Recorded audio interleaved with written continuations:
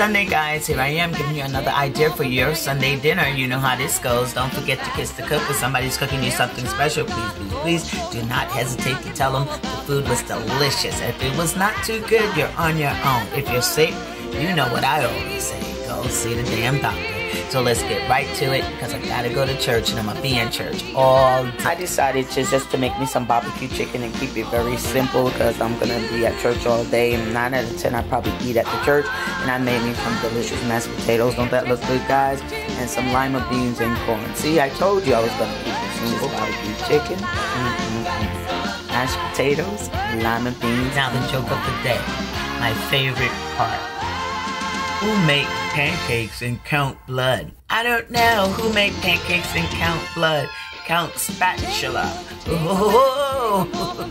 Anyway, if you got a joke for me, just give it to me. I like that one.